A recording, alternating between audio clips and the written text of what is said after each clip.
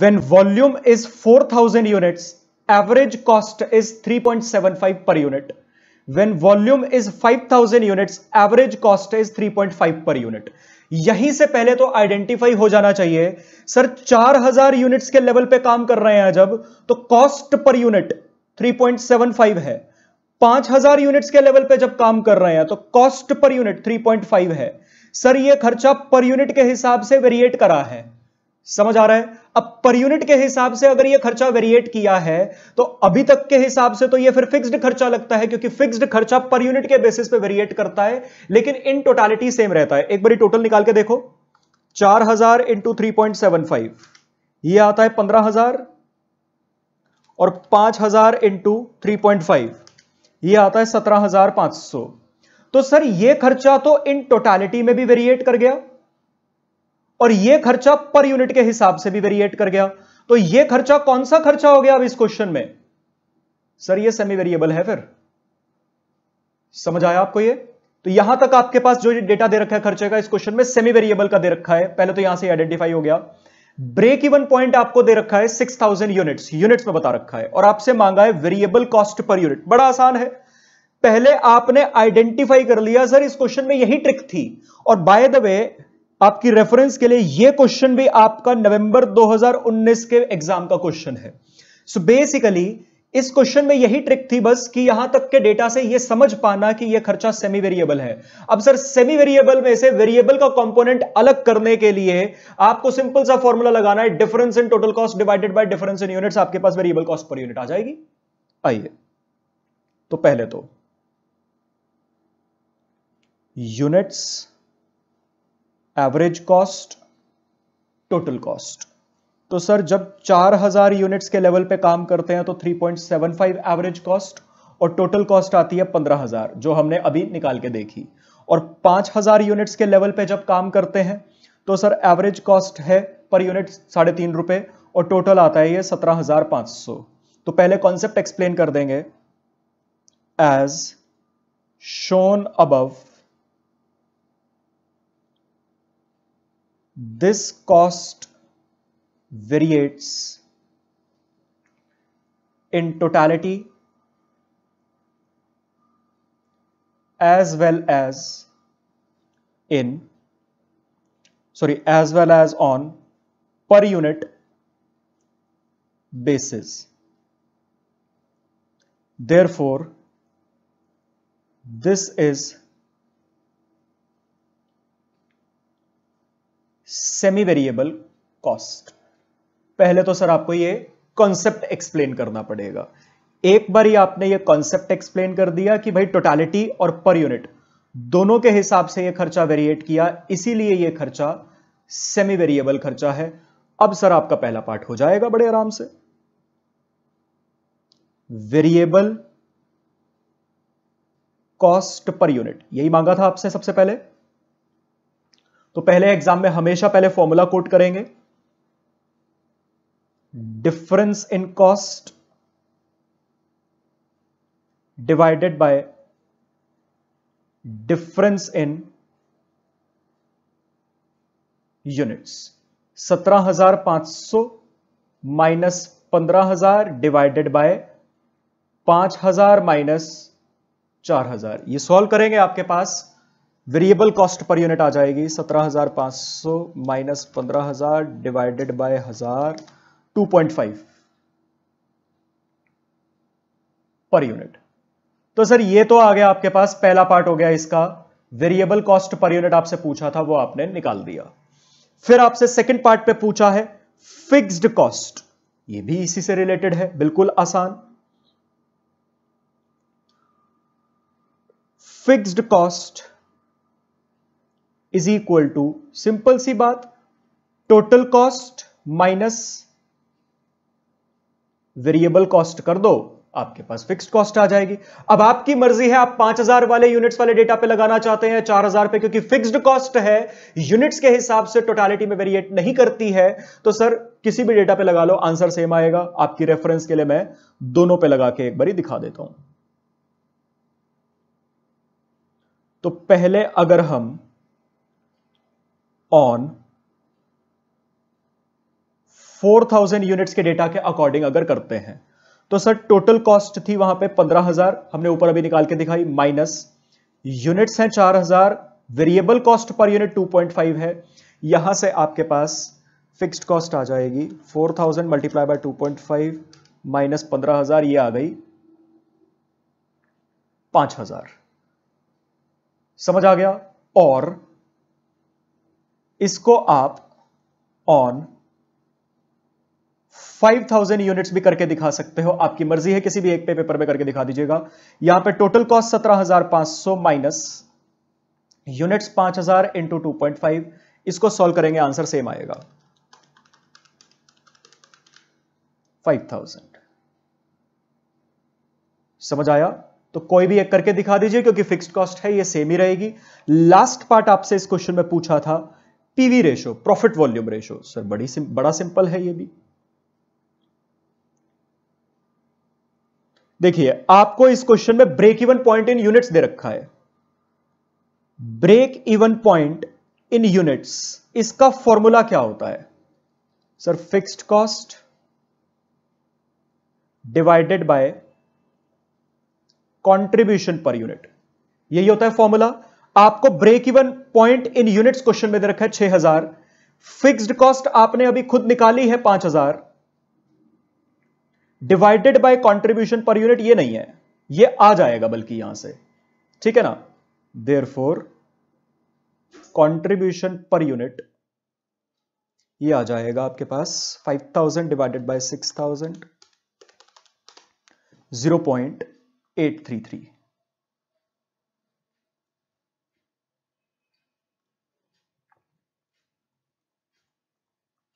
आगे so on three three three three है। अच्छा अब आपके पास एक बात बताइए। वर्किंग नोट की टर्म्स में बात कर रहा हूँ। सेलिंग प्राइस लिखते हैं, माइनस करते हैं, उसमें से वेरिएबल कॉस्ट आपके पास कंट्रीब्यूशन आता है। कंट्रीब्यूशन अभी आपने निकाला 0.833 आपके पास वेरिएबल कॉस्ट पर यूनिट आप निकाल चुके हो 2.5 तो आपके पास सेलिंग प्राइस आ जाएगी। बिल्कुल आ जाएगी। 0.8333 प्लस 2.5 तो सेलिंग प्राइस आ गई आपके पास 3.3333 आगे so on 33 sir selling price आ चुकी है कंट्रीब्यूशन पर यूनिट आ चुका है। PV ratio is equal to contribution per unit per unit के बेसिस पे लगा देंगे। Divided by selling price per unit multiply by hundred as simple as that 0.833 divided by 3.3333 into 100 आपके पास पीवी रेशो आ जाएगी.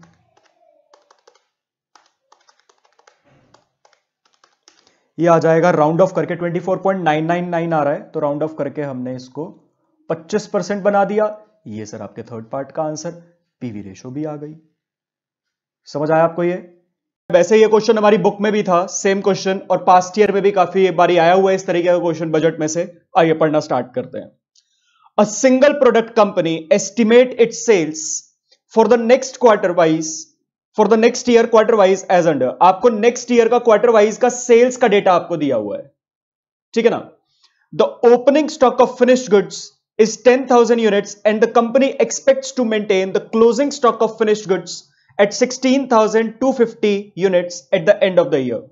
So basically आपको finished goods की बात कर रखी है पहली बात।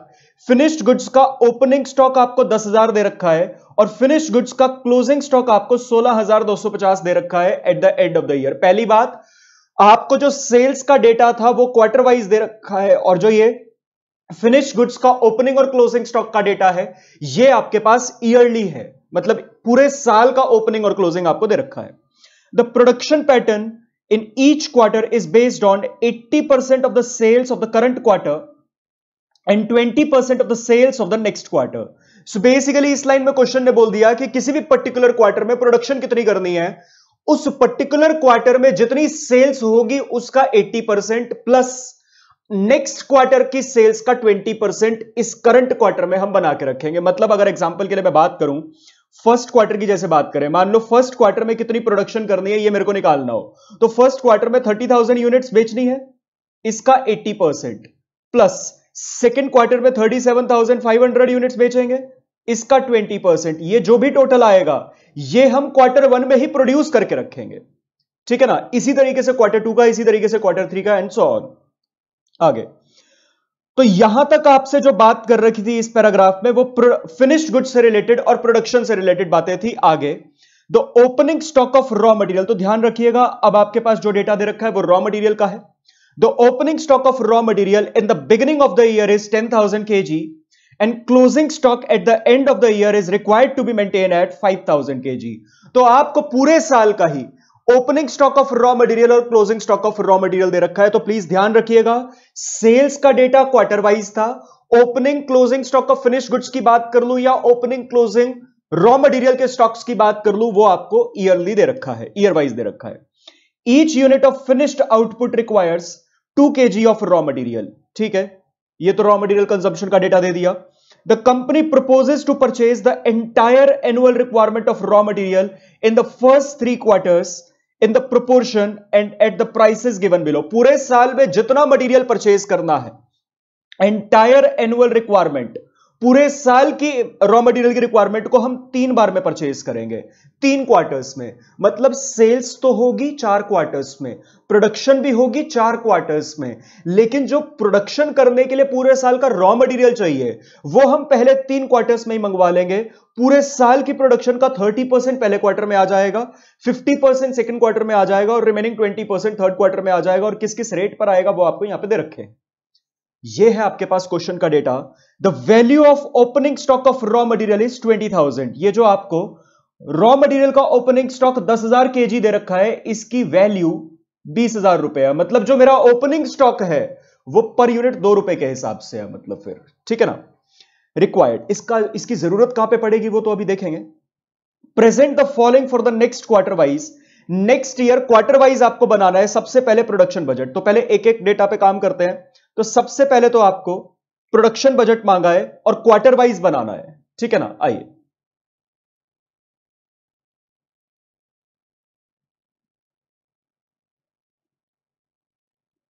तो ये आपका सॉल्यूशन वन सबसे पहले प्रोडक्शन बजट बनाना है।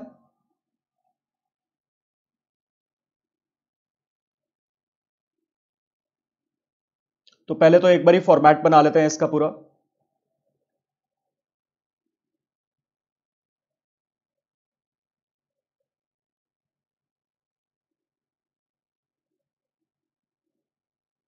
यहाँ पे particulars first quarter second quarter third quarter and fourth quarter ठीक है ना? अच्छा पहले एक बार फॉर्मेट बना लेते हैं। क्या था इसका पूरा फॉर्मेट सर, जो सेल्स करनी है, वो तो बनानी ही पड़ेगी। तो सेल्स की यूनिट्स प्लस जो closing stock of finish goods बचाना है, वो भी बनाना पड़ेगा। Closing stock of finished goods minus जो ऑलरेडी बना हुआ है। Opening stock of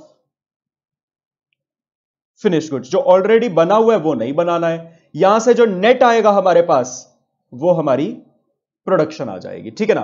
पहले यहाँ पे जो भी डेटा क्वेश्चन में एज इट इज़ दिया हुआ है, पहले उसको फिट कर लेते हैं। फिर देखते हैं अब हमें क्या कंप्यूट करना पड़ेगा, क्या नहीं। वैसे बिल्कुल आसान है। आपको तीनों चारों क्वार्टर्स की सेल्स दे रखी है। थर्टी थाउज़ेंड और thirty seven thousand five hundred thirty thousand thirty seven thousand five hundred third quarter में है forty one thousand two fifty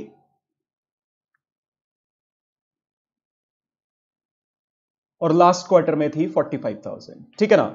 अच्छा अब आपको the opening stock of finish goods is ten thousand units आपको finish goods का opening stock दे रखा है पूरे साल का। जो पूरे साल का ओपनिंग स्टॉक है। क्या मैं कह सकता हूँ पहले क्वार्टर का भी ओपनिंग स्टॉक तो वही होगा क्योंकि ईयर भी फ़र्स्ट अप्रैल से स्टार्ट होगा पहला क्वार्टर भी फ़र्स्ट अप्रैल से स्टार्ट होगा। तो सर ओपनिंग स्टॉक आपको पहले क्वार्टर का दे रखा है दस हज़ार। ठीक है जी? इसी तरीके से पूरे साल का क्लोजिंग स्टॉक 16,250 है। भाई पूरे साल का जो क्लोजिंग स्टॉक होगा वो आखिरी क्वार्टर का भी क्लोजिंग स्टॉक होगा क्योंकि पूरा साल भी 31 मार्च को खत्म होगा और लास्ट क्वार्टर भी। तो 16,000 यहाँ पे लिखना था। 16,250 क्लोजिंग स्टॉक ठीक है ना? ये डेटा हमारे पास अवेलेबल था। जो अवेलेबल था वो तो हमने फिट कर दिया। अब बात करते हैं यहाँ पे प्रोडक्शन की। देखो आपको बोल रखा है किसी भी क्वार्टर में कितना प्रोड्यूस करना है वो आपको बता रखा है बल्कि क्वेश्चन में।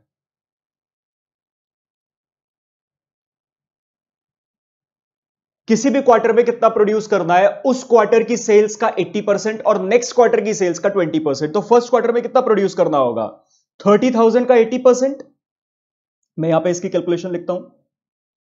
30,000 thousand into eighty percent plus next quarter की सेल 37,500 इसका 20 परसेंट ये टोटल मेरे को फ़र्स्ट क्वार्टर में ही बना के चलना है। कितना आएगा ये? 30,000 का 80 परसेंट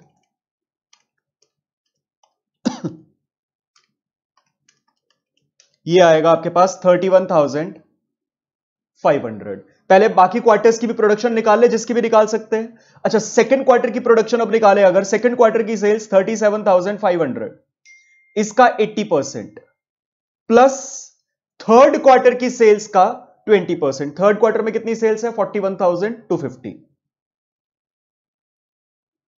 इसका 20 परसेंट 37,500 इसका 80 परसेंट ये आ जाएगा 30,000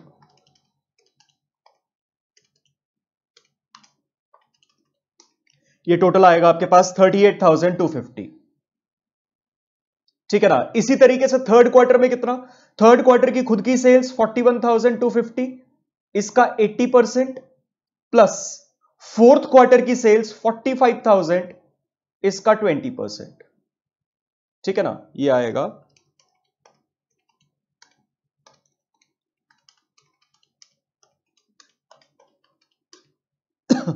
फोर्टी टू थाउज़ेंड। एक बारी चेक कर लेते हैं सही है? हाँ जी। चलिए तो आपके पास पहले तीन क्वार्टर्स की प्रोडक्शन आ गई। अच्छा इस तरीके से फॉर्मूला लगाकर आप फोर्थ क्वार्टर की प्रोडक्शन नहीं निकाल सकते, क्योंकि फोर्थ क्वार्टर की सेल्स का 80 परसेंट तो मैं कर लूँगा। लेकिन फिर इससे अगले क्वार्टर की सेल्स नहीं है मेरे पास, जिसका 20 परसेंट करना पड़ेगा तो सर इतना ही कर सकते हैं। लेकिन अब एक बात बताओ फ़र्स्ट क्वार्टर पर वापस आ जाते हैं। फ़र्स्ट क्वार्टर की सेल्स आ गई। फ़र्स्ट क्वार्टर का ओपनिंग स्टॉक है। फ़र्स्ट क्वार्टर की प्रोडक्शन आ चुकी है। क्या फ़र्स्ट क्वार्टर का क्लोजिंग स्टॉक आ जाएगा? बिल्कुल आ जाएगा। कितना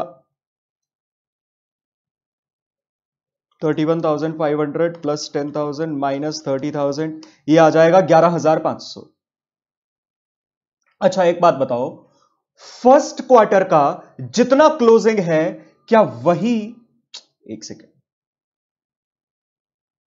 फ़र्स्ट क्वार्टर का जितना क्लोजिंग है क्या उतना ही सेकेंड क्वार्टर का ओपनिंग बनेगा?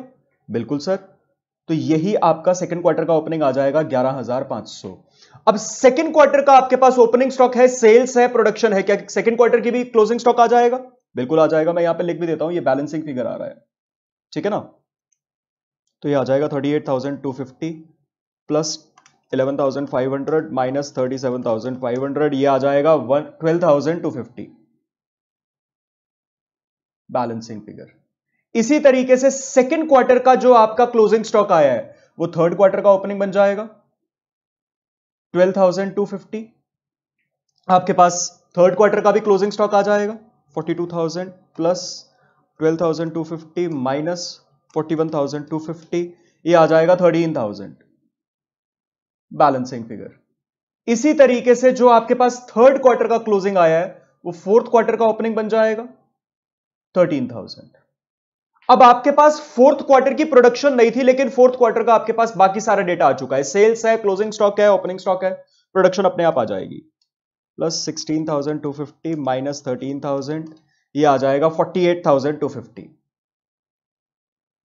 so this is it ये था आपका फ़र्स्ट पार्ट का आंसर जिसमें क्वेश्चन ने आपसे प्रोडक्शन बजट मांगा था। आई होप आपको समझ आया। आसान था एकदम। चलिए। आगे बढ़ते हैं आप इस क्वेश्चन पे।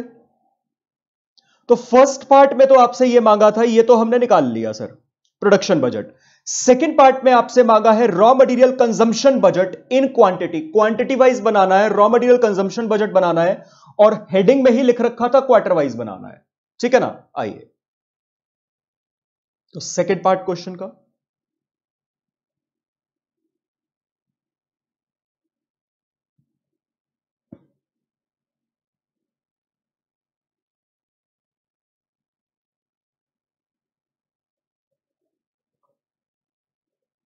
Raw material consumption budget quantity wise बना रहे हैं।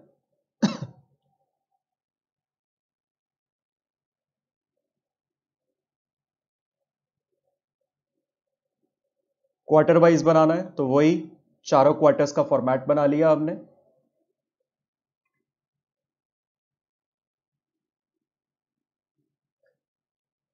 चलिए अब रॉ मटेरियल कंजम्पशन बड़ी सिंपल सी बात है चारों क्वार्टर्स में कितना कितना प्रोड्यूस करना है वो आपके पास आ चुका है।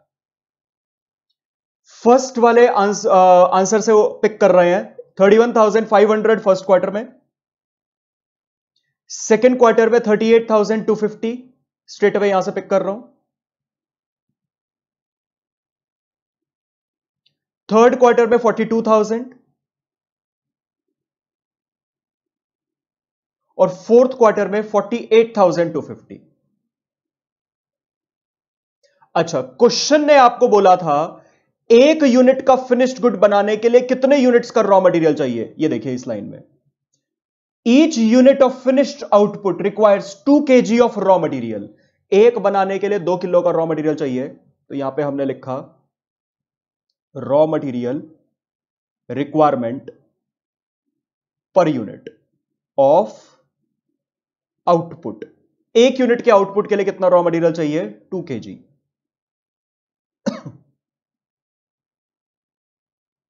ठीक है ना? बस मल्टीप्लाई कर देंगे, आपके पास रॉ मटेरियल की कंजम्पशन आ जाएगी। बिल्कुल ही सिंपल ये तो। Raw material consumption thirty one thousand five hundred multiply by two sixty three thousand K G thirty eight thousand two fifty into two seventy six thousand five hundred K G forty two thousand into two 84,000 kg 48,250 into 2 96,500 kg. तो sir ये हो गया आपका second part का answer raw material consumption budget I hope आपको समझ आया।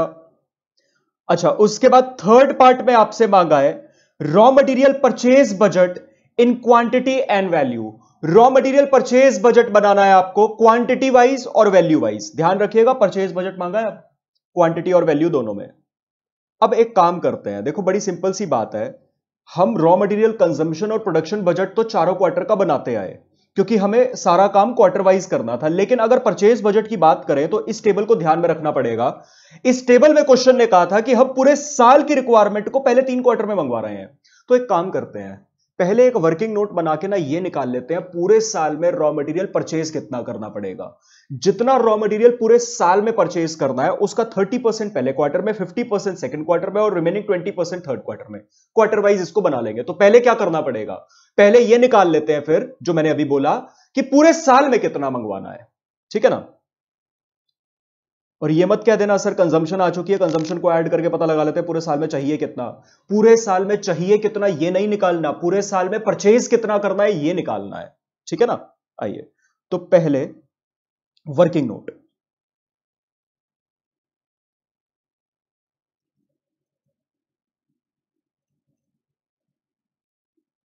annual purchase of raw material पूरे साल में परचेज कितना करना पड़ेगा रॉ मटेरियल तो सर, पूरे साल में जितना कंज्यूम करोगे raw material required for consumption भाई जो रॉ मटेरियल कंजम्पशन करने के लिए रिक्वायर्ड है वो तो परचेज करोगे ही करोगे ना। कितना रिक्वायर्ड है? सर पहले क्वार्टर की प्रोडक्शन करने के लिए 63,000 का रॉ मटेरियल लगेगा। दूसरे क्वार्टर की प्रोडक्शन करने के लिए 76,500 केजी का रॉ मटेरियल तीसरे क्वार्टर में 84,000 और फोर्थ क्वार्टर में 96,500 केजी का रॉ मटेरियल चाहिए। तो इसका टोटल 63,000 प्लस 76,500 प्लस 84,000 प्लस 96,500 ये टोटल आता है तीन लाख बीस हज़ार के जी मैं आपकी रेफरेंस के लिए यहाँ पे लिख भी देता हूँ ये कैसे आया? 63,000 plus 76 thousand five hundred plus eighty four thousand plus ninety six thousand five hundred तो ये टोटल रॉ मटेरियल मेरे को कंजम्पशन के लिए चाहिए। रॉ मटेरियल का closing stock of raw material जो क्लोजिंग में बचाना है, वो भी खरीदना पड़ेगा। पूरे साल का रॉ मटेरियल का क्लोजिंग स्टॉक आपको क्वेश्चन में कितना दे रखा है? सर, पूरे साल का closing stock of raw material पाँच हज़ार दे रखा है।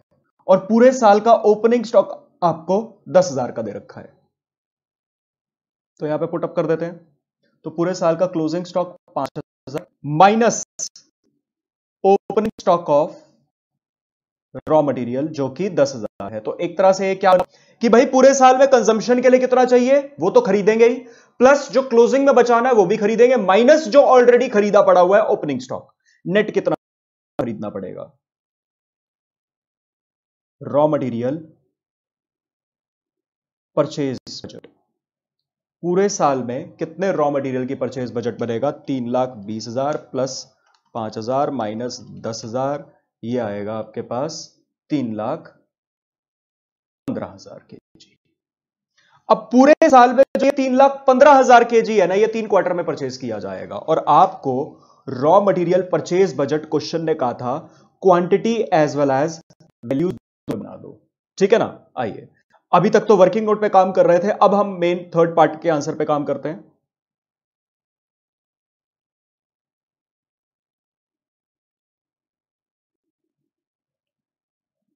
Raw material purchase budget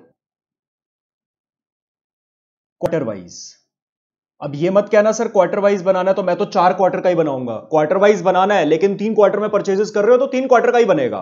और ये आपको क्वांटिटी एंड वैल्यूज़ दोनों में बनाना है। ठीक है ना?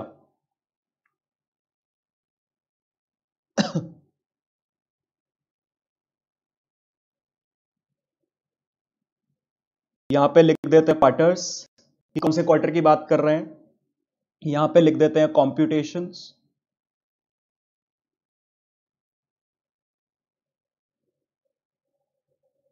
यहाँ पे लिख देते हैं रॉ मटेरियल परचेज क्वांटिटी और यहाँ पे दिखा देंगे लास्ट कॉलम में raw material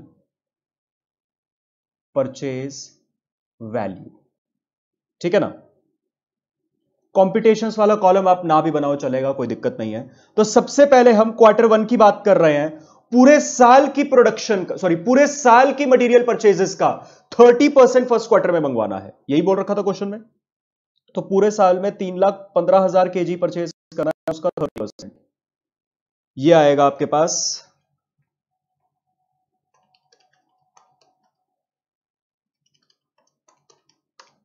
Ninety four thousand five hundred तो 94,500 केजी हमें फ़र्स्ट क्वार्टर में खरीदना है। इसी तरीके से क्वार्टर टू पूरे साल में जितना परचेज करना है उसका 50 परसेंट हम सेकेंड क्वार्टर में परचेज कर रहे हैं।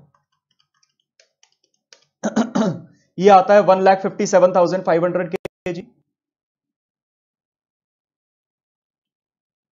और पूरे साल में जो परचेज करना है उसका थर्टी परसेंट वो हम क्वार्टर थ्री में करेंगे। तीन लाख पंद्रह हज़ार का बीस परसेंट। ये आ जाएगा सिक्सटी थ्री थाउज़ेंड जी। तो आपके पास ये तो बन गया परचेज बजट। समझ आया? अच्छा वैल्यूज़ में भी निकालना है तो क्वेश्चन में एक बार चेक कर लेते हैं कि क्या क्या वैल्यूज़ दे रखी थी हर क्वार्टर में। फ़र्स्ट क्वार्टर में जो खरीदोगे वो दो रुपए के हिसाब से टेबल में ही पढ़ रहा हूँ। सेकंड क्वार्टर में तीन रुपए के हिसाब से और थर्ड क्वार्टर में चार रुपए के हिसाब से। आइए। तो फ़र्स्ट क्वार्टर का रॉ मटेरियल परचेज वैल्यू कितनी आ जाएगी? Ninety four thousand five hundred into two इसी तरीके से सेकेंड क्वार्टर में one lakh fifty seven thousand five hundred into three तीन रुपए पर यूनिट के हिसाब से खरीद रहे थे और थर्ड क्वार्टर में sixty three thousand into four क्योंकि यहाँ पे चार पर यूनिट के हिसाब से खरीद रहे थे। ठीक है ना? बस, ये आपके पास इसका भी आंसर आ जाएगा। one lakh eighty nine thousand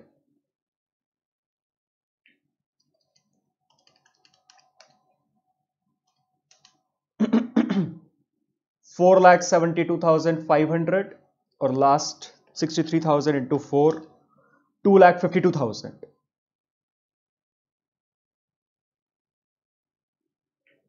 I guess आपको पूरा ये question company has a PV ratio of 40 percent by what percentage must sales be increased to offset 20 percent reduction in selling price मतलब क्वेश्चन ये कहता है, पहले question को अगर हम अंडरस्टैंड करें क्वेश्चन ने आपको यह कहा है कि, सर एट प्रेजेंट कुछ सेल क्वांटिटी बेचते हैं, मालूम नहीं कितनी। कुछ सेलिंग प्राइस पर यूनिट में बेचते हैं, वो भी मालूम नहीं कितनी, और टोटल सेल्स आती है। इसमें से वेरिएबल कॉस्ट माइनस होती है वो भी sales quantity multiply by variable cost per unit करके, और हमारा यहाँ पे कुछ कंट्रीब्यूशन आता है, ये जो पीवी रेशो है, इस कंट्रीब्यूशन की जो पीवी रेशो है, वो है सर हमारी फोर्टी परसेंट है फोर्टी परसेंट ये पीवी रेशो हमारी यहाँ पे फोर्टी परसेंट है। मतलब सिक्सटी परसेंट मेरी कॉस्ट है। अब क्वेश्चन कहता है, आने वाले टाइम में ये जो सेलिंग प्राइस है, ये ट्वेंटी से कम हो जाएगी। ठीक है? मतलब सेलिंग प्राइस हो जाएगी सर ट्वेंटी परसेंट से कम। ठीक है?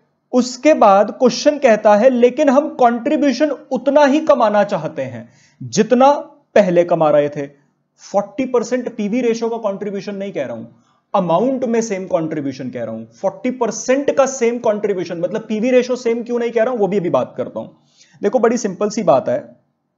क्वेश्चन कहता है कि एट प्रेजेंट जो सेलिंग प्राइस थी, आने वाले टाइम में वो सेलिंग प्राइस 20 परसेंट से कम हो जाएगी। वेरिएबल कॉस्ट पर यूनिट के बारे में क्वेश्चन ने कुछ नहीं कहा। अब मन में सोचिए एक बारी सेलिंग प्राइस पर यूनिट आपकी कम हो रही है। वेरिएबल कॉस्ट में क्वेश्चन ने कोई चेंज नहीं कहा।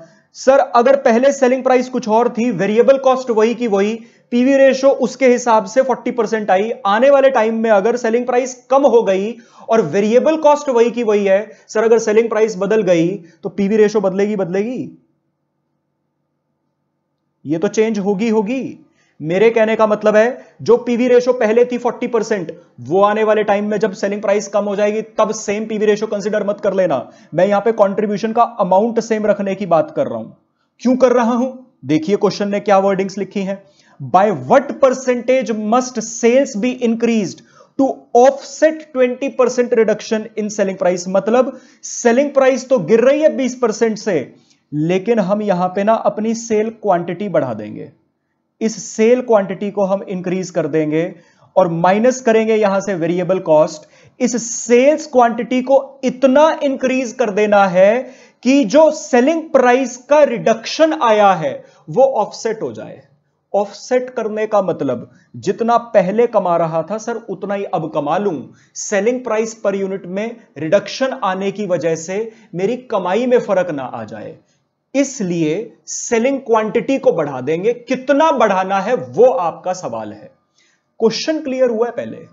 अच्छा फिर भी अगर कोई कंफ्यूजन रह जाए सर कंट्रीब्यूशन को सेम क्यों रख रहे हो? जब आप बोल रहे हो, जितना पहले कमाना था, उतना अब कमाना है। सर कंट्रीब्यूशन के आगे इनकम स्टेटमेंट का डेटा है नहीं फिक्स्ड कॉस्ट वगैरह। तो इस क्वेश्चन के अकॉर्डिंग कमाना क्या होगा? कंट्रीब्यूशन और मैं सेम कंट्रीब्यूशन अमाउंट में क्यों मान रहा हूँ? क्योंकि क्वेश्चन ने एक कीवर्ड लिखा है ऑफसेट सेलिंग प्राइस में रिडक्शन को ऑफसेट करने के लिए सेल क्वांटिटी को बढ़ाना है कि सेलिंग प्राइस में जो रिडक्शन आया है, वो उसका इंपैक्ट निल हो जाए नेट ऑफ़ हो जाए, इतने से सेल क्वांटिटी बढ़ा दो। मतलब ऑब्वियसली इसका क्या है? कंट्रीब्यूशन पे फ़र्क ना पड़े।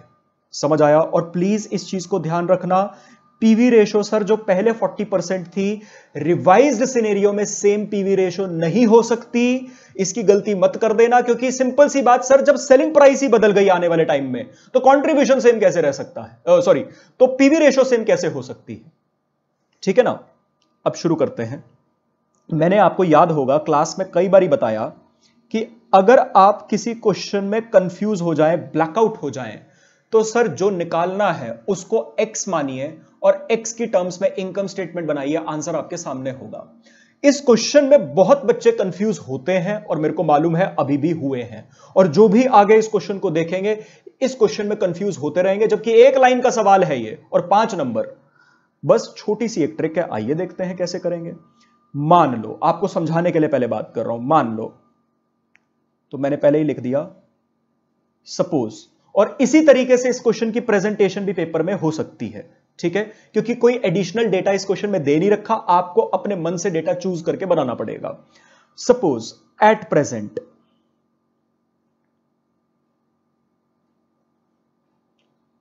hundred units आप बेचते हो एट टेन पर यूनिट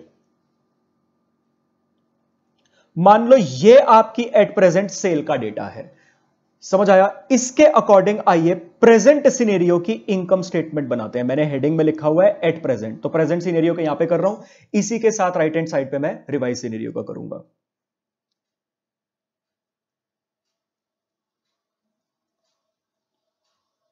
इसके अकॉर्डिंग हमने इनकम स्टेटमेंट बनाई। तो सेल्स हंड्रेड यूनिट्स हैं। दस रुपए पर यूनिट के हिसाब से, हज़ार रुपए की sale minus variable cost contribution अच्छा पीवी रेशो 40 परसेंट है तो सेल्स थाउज़ेंड उसका 40 परसेंट ये मैंने प्रेजेंट पीवी रेशो अप्लाई करी है। समझ आया? तो यहाँ से आपके पास जो कंट्रीब्यूशन आएगा, वो आएगा 400 तो बैलेंसिंग फिगर आपके पास वेरिएबल कॉस्ट बच जाएगी। अच्छा वेरिएबल कॉस्ट यूनिट्स के हिसाब से इंकर होती है मतलब 100 यूनिट्स थी अगर तो variable cost per unit at present फिर छह रुपए आई होगी। और इसी हिसाब से अगर मैं कंट्रीब्यूशन को भी फ्रेम करना चाहूँ तो 100 यूनिट्स चार रुपए पर यूनिट के हिसाब से कंट्रीब्यूशन बना होगा। यही होगा। अच्छा इसी के साइड पर रिवाइज्ड सिनेरियो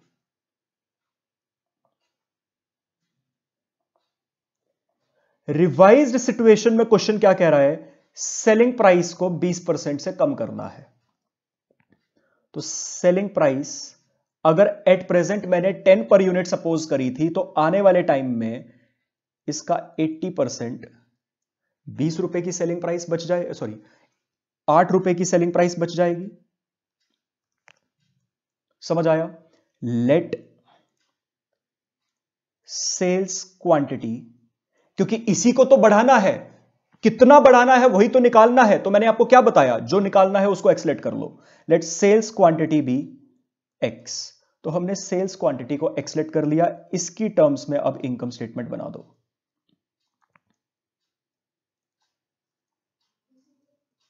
तो सबसे पहले सेल्स क्वांटिटी एक्सलेट करी। Selling price per unit eight आ गई थी revised eight X minus variable cost quantity X multiply by variable cost per unit में क्वेश्चन ने कुछ नहीं कहा। जितनी एट प्रेजेंट वेरिएबल कॉस्ट थी छह रुपए पर यूनिट उतनी अब आ जाएगी। छह रुपए पर यूनिट मैं आपकी रेफरेंस के लिए यहाँ पे लिख देता हूँ ऐसे। ये हमने सेम मानी है। ठीक है ना? क्योंकि क्वेश्चन ने कुछ कहा नहीं। तो ये सिक्स एक्स आपकी वेरिएबल कॉस्ट आ जाएगी। फिर कंट्रीब्यूशन अब कंट्रीब्यूशन तो सर एट प्रेजेंट वाला ही कमाना है। क्योंकि ऑफसेट करना था। Same amount. और आपकी रेफरेंस के लिए इसके नीचे लिख भी देता हूँ, क्वेश्चन ने ऑफसेट करने को बोला था सेलिंग प्राइस के रिडक्शन को, सेलिंग क्वांटिटी के इंक्रीज से। मैं लिख देता हूँ यहाँ पे स्पेसिफाई करके। Question has asked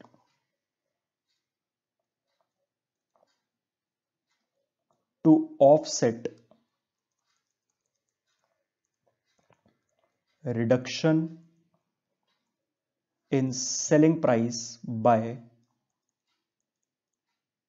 increase in sale quantity offset का मतलब ही फिर रेफरेंस यहाँ पे ये हो गई कि कंट्रीब्यूशन सेम कमाना है, जो कि 400 है। बस आपके पास इक्वेशन बन गई। 8x X minus six X is equal to 400 x is equal to 200 therefore, revised sale quantity इस सपोज्ड डेटा के अकॉर्डिंग 200 यूनिट्स आ जाएँगी। For sales quantity shall be increased by percentage में आंसर देना था। कितने से इंक्रीज कर रहे हो? एट प्रेजेंट मैंने सपोज़ किया था 100 यूनिट्स बेच रहे हैं। आने वाले टाइम में फिर 200 यूनिट्स बेचनी पड़ेंगी। तो सर 200 माइनस सौ, इतने से क्वांटिटी इंक्रीज कर रहे हो ओवर एंड अबव प्रेजेंट की 100 यूनिट से। तो सर एक तरह से 100 परसेंट से आपको सेल इंक्रीज करनी पड़ रही है to off reduction in selling price by 20 percent. ये जो मैंने एंड में लिखा है, ये आपका मेन आंसर है।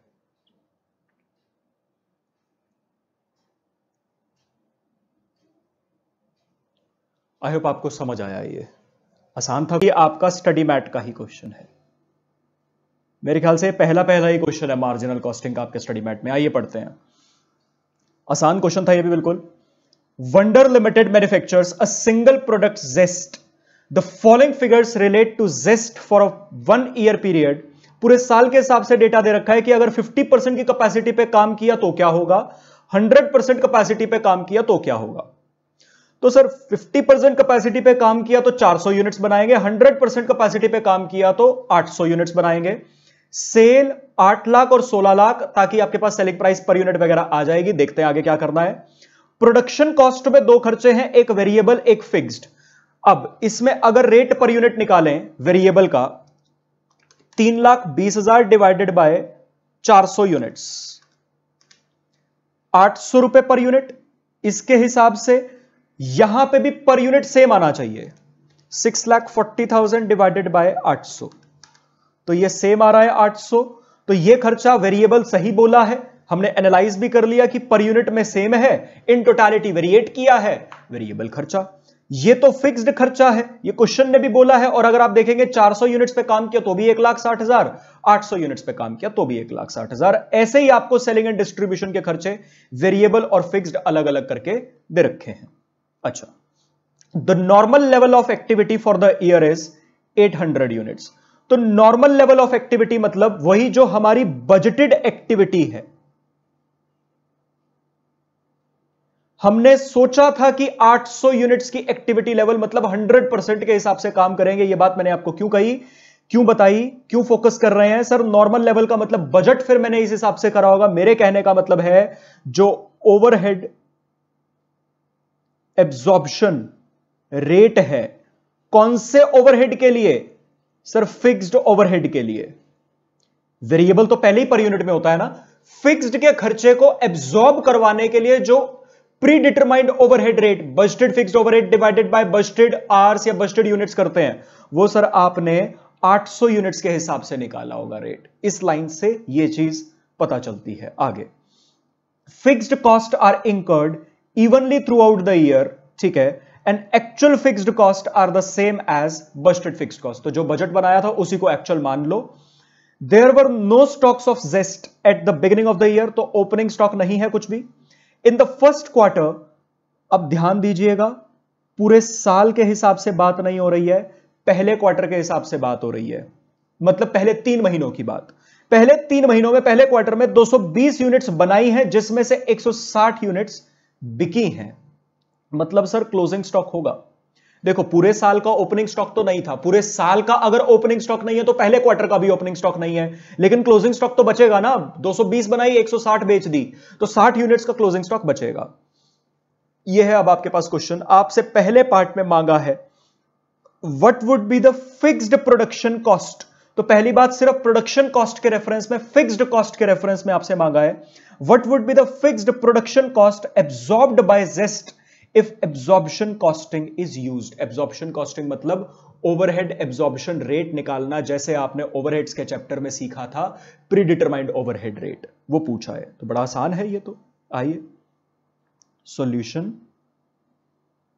थ्री तो पहला part fixed production overhead absorption rate.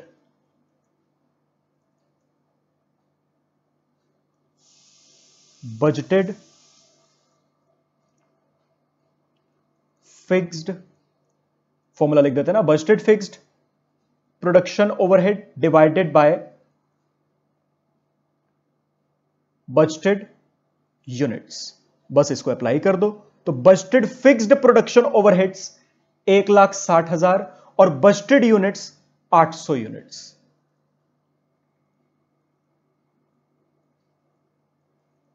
ये आ जाएगा आपके पास एक लाख साठ हज़ार डिवाइडेड बाय आठ सौ, दो सौ रुपए पर यूनिट। ठीक है जी, ये आपके पहले पार्ट का आंसर आ गया। अब आ जाते हैं अपने सेकंड पार्ट पे। क्वेश्चन के सेकंड पार्ट में आपको कहा what would be the under or over recovery of overhead during the period अब इसी पहले पार्ट में जो आपने खर्चे का रेट निकाला, इसके हिसाब से अब अंडर रिकवर्ड है या ओवर रिकवर्ड है ये बता दो। ठीक है जी? तो पहले तो एब्जॉर्ब्ड ओवरहेड अब ध्यान रखिएगा, पूरे साल के हिसाब से नहीं, पहले क्वार्टर के हिसाब से काम करना है आपको। ठीक है ना? तो पहले क्वार्टर में 220 यूनिट्स बनी है और पर यूनिट का हमने रेट निकाला था दो सौ रुपए। तो एक तरह से मैं यहाँ पे फॉर्मूला भी लिख देता हूँ इसके नीचे, रेफर करके।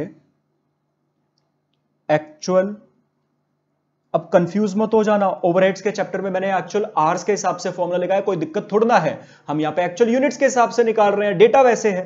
तो actual units multiply by overhead absorption rate ठीक है ना? वही वाला फॉर्मूला लगाया है।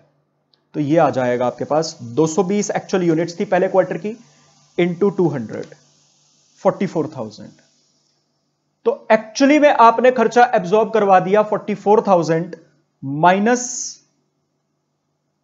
actual overheads अगर किसी के मन में कंफ्यूजन आए, सर, आपने एक क्वार्टर के हिसाब से क्यों किया है? क्योंकि सर, आपको एब्जॉर्ब्ड ओवरहेड निकालना है। एब्जॉर्ब्ड ओवरहेड कैसे आता है? Actual units multiply by overhead absorption rate actual unit sir, आपको पहले क्वार्टर की दे रखी है।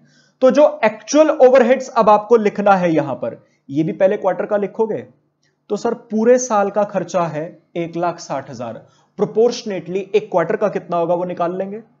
तो पूरे साल का एक लाख साठ हज़ार और पूरे साल में चार क्वार्टर तो डिवाइडेड बाय फोर करेंगे, एक क्वार्टर का मतलब तीन महीनों का आ जाएगा। Forty thousand. और क्वेश्चन ने कहा था, जो बजटेड है, वही एक्चुअल है। इसीलिए ऐसा कर पाए। तो पहली बात मैं नीचे एक और चीज़ रेफरेंस के लिए लिख देता हूँ। Budgeted overhead is equal to actual overhead assumption नहीं है एज पर क्वेश्चन है ये। ठीक है ना? यहाँ पे लिखा हुआ है। Actual fixed cost are the same as budgeted ये क्वेश्चन ने स्पेसिफाई किया था। तो आपके पास यहाँ पे आ जाएगा ये।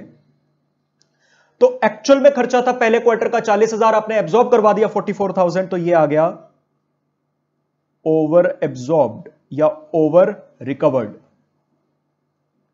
फोर थाउज़ेंड ठीक है जी? ये आपके सर सेकेंड पार्ट का आंसर हो गया। ठीक है ना? आइए अब थर्ड पार्ट पे आ जाते हैं। थर्ड पार्ट में आपसे क्वेश्चन ने मांगा what would be the profit using absorption costing absorption costing के अकॉर्डिंग प्रॉफिट मतलब? कॉस्ट शीट मांगी है, आइए।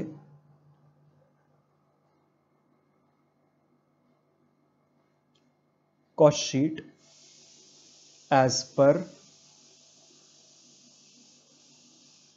absorption अब कॉस्ट शीट स्टार्ट होती है opening stock of raw material plus purchases minus closing stock of raw material वगैरह वगैरह वगैरह। वहाँ से आपको डेटा दे ही नहीं रखा है, अगर आप क्वेश्चन को रेफर करेंगे, आपके पास क्वेश्चन में सीधा सीधा खर्चों का डेटा प्रोडक्शन ओवरहेड से है। तो मतलब हमारा क्वेश्चन भी फिर वहीं से स्टार्ट होगा। तो factory overheads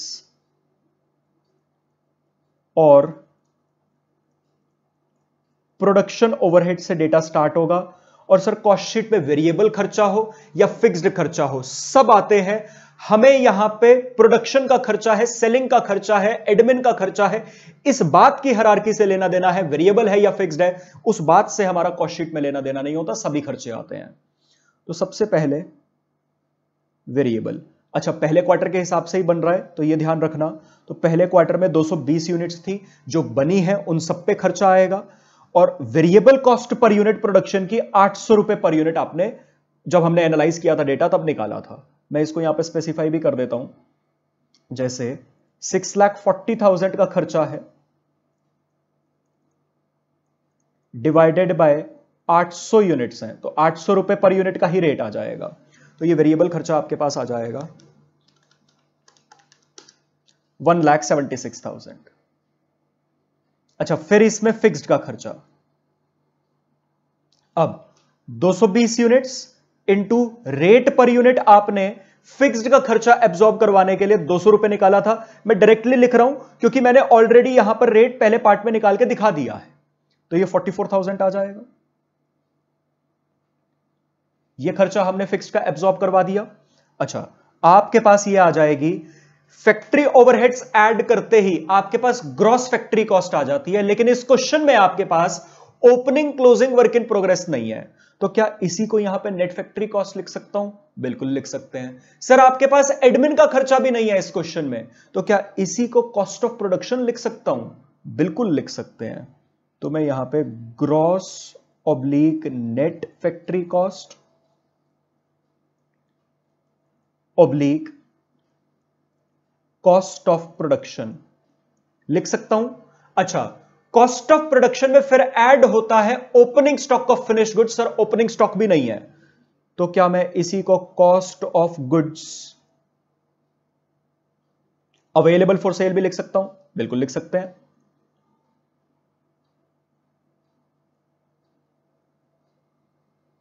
available for cell ये आ जाएगा आपके पास। टू लैख ट्वेंटी थाउज़ेंड ठीक है जी? अब cost of goods available for sale में से फिर माइनस होता है। Closing stock of finished goods इसी पर वैल्यू कर देंगे। तो सर क्लोजिंग स्टॉक की यूनिट्स 220 यूनिट्स बनाई है 160 बिकी है। तो 60 यूनिट्स क्लोजिंग स्टॉक की? इनटू रेट पर यूनिट दो लाख बीस हज़ार आपके पास टोटल खर्चा आया हुआ है। कितने यूनिट्स का है ये खर्चा? 220 यूनिट्स को बनाने का। तो दो लाख बीस हज़ार डिवाइडेड बाय दो सौ बीस पर यूनिट का खर्चा इंटू साठ यूनिट कॉस्ट ऑफ़ प्रोडक्शन पे क्लोजिंग स्टॉक को वैल्यू कर दिया।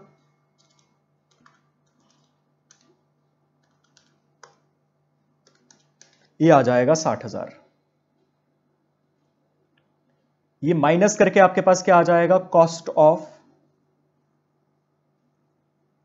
good sold one lakh sixty thousand. अच्छा अब इसमें ऐड होगा सेलिंग एंड डिस्ट्रीब्यूशन ओवरहेड्स। उसमें भी आपके पास वेरिएबल भी है और फिक्स्ड भी है। अब पहले तो ये वेरिएबल का खर्चा भी जैसे पहले वेरिएबल का खर्चा 220 यूनिट्स के हिसाब से डाल दिया, क्या ये वाला वेरिएबल का खर्चा भी 220 नहीं, सर। पहले आप कॉस्ट ऑफ़ प्रोडक्शन निकालने के लिए खर्चा डाल रहे थे तो आप जो यूनिट्स बनी है उनका खर्चा, अब जो बिकी है उनका खर्चा, क्योंकि सेलिंग का खर्चा है।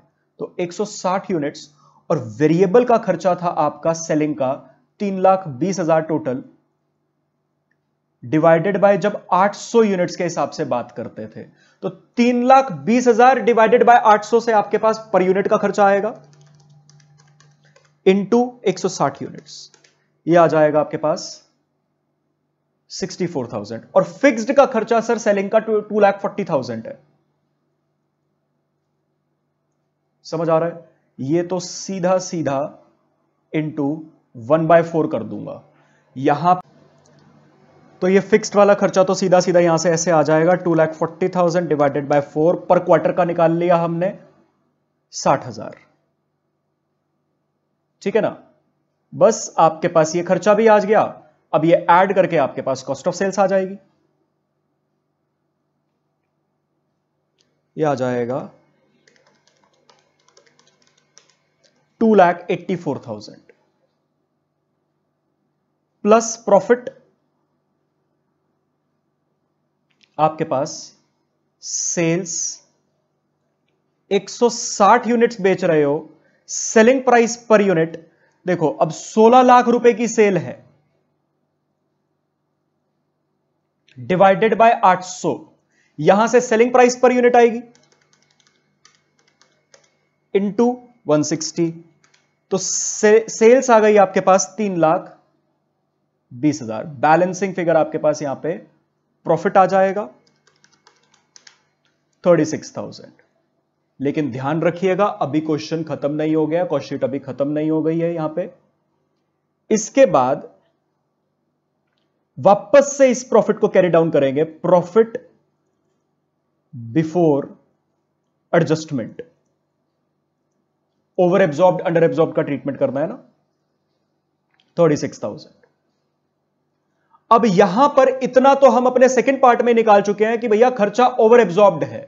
खर्चा ज़्यादा एब्जॉर्ब करवा दिया। ज़्यादा खर्चा लिखने की वजह से आपका प्रॉफिट कम आया होगा। ठीक करने के लिए प्रॉफिट को बढ़ाना पड़ेगा तो ऐड करेंगे। Plus over absorbed production overhead from to second part से उठा रहे हैं। चार हज़ार था। आपके पास forty thousand profit after adjustment आ जाएगा।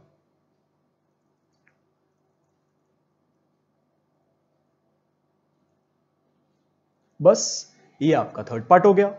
आई होप समझ आया। चलिए, अब क्वेश्चन का आखिरी part fourth part what would be the profit using marginal costing income statement बनानी है सिंपल सी। आइए फोर्थ पार्ट बल्कि इसमें रिकंसिलेशन नहीं मांगी। इनकम स्टेटमेंट आई होप ये तो आप सबसे खुद से हो ही गया होगा वैसे क्वेश्चन इसमें ऐसा कुछ था नहीं इस क्वेश्चन में. पर्टिकुलर्स अमाउंट तो सबसे पहले सेल्स एक्सपेंडेड इनकम स्टेटमेंट बनाने की ज़रूरत नहीं है. हम अपना जो मेन फॉर्मेट में इनकम स्टेटमेंट बनाते हैं, वही बनाएँगे सेल माइनस वेरिएबल कॉस्ट वगैरह करके. ओपनिंग क्लोजिंग दिखाने की कोई ज़रूरत नहीं है यहाँ पे. तो सेल्स सीधा सीधा 160 यूनिट्स और पर यूनिट की सेलिंग प्राइस वही आई थी 16 लाख सेल्स थी 800 यूनिट्स के हिसाब से। तो selling price per unit sales value तो सर सेम आ जाएगी, जो कॉस्ट शीट में आपने लिखी है, तीन लाख बीस हज़ार। माइनस वेरिएबल कॉस्ट अब वेरिएबल कॉस्ट में दो खर्चे हैं। जैसे कॉस्ट शीट में हमें वेरिएबल फिक्स से लेना देना नहीं होता, खर्चा प्रोडक्शन का है एडमिन का है सेलिंग का है, इस बात से लेना देना होता है। ऐसे इनकम स्टेटमेंट में हमें इस बात से लेना देना नहीं है, खर्चा प्रोडक्शन का है एडमिन का है सेलिंग का है। हमें इस बात से लेना देना है वेरिएबल है या फिक्स्ड है। तो पहले वेरिएबल उसमें पहले प्रोडक्शन ओवरहेड प्रोडक्शन ओवरहेड का वेरिएबल रेट हमने आठ सौ रुपए निकाला था और यूनिट्स 160 हैं। 160 यूनिट्स इंटू एट इसी तरीके से सेलिंग 160 यूनिट्स और सेलिंग का वेरिएबल पर यूनिट जैसे टोटल तीन लाख बीस हज़ार था डिवाइडेड बाय 800 यूनिट्स तो ये चार सौ रुपए पर यूनिट आया। ठीक है ना? आपके पास ये दोनों खर्चे आ जाएँगे 160 सौ साठ इंटू आठ सौ one lakh twenty eight thousand और इसी तरीके से 160 sixty into four hundred sixty four thousand. ये टोटल आएगा one lakh ninety two thousand. तो ये आपकी वेरिएबल कॉस्ट आ गई, आपके पास कंट्रीब्यूशन आ जाएगा।